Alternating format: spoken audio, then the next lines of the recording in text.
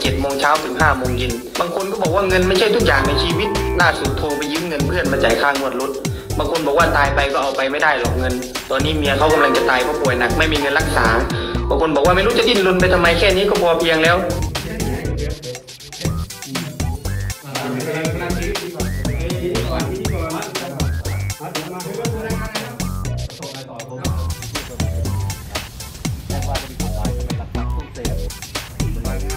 ของปลอมเออหมัดหมั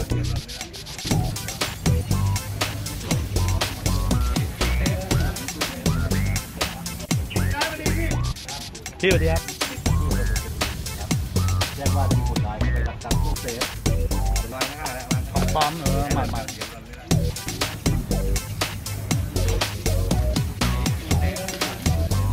7โมงเช้าถึง5โมงเย็นบางคนก็บอกว่าเงินไม่ใช่ทุกอย่างในชีวิตล่าสุดโทรไปยืมเงินเพื่อนมาจ่ายค่างวดรถบางคนบอกว่าตายไป